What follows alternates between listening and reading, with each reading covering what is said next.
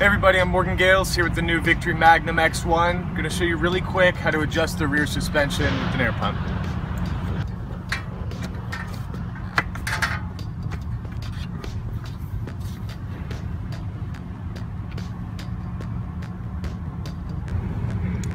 So I weigh about 180 pounds. I can specify right here, no trunk, ABS tour, the low PSI for my weight should be about 38, maybe a little higher. Seat pressure right now is at about 25. So you can see now we're just a tiny bit below 40, should be perfect for my weight on this bike without load. And that's it. You just snap this back on, couple little pushes, suspension's all adjusted, ready to go ride.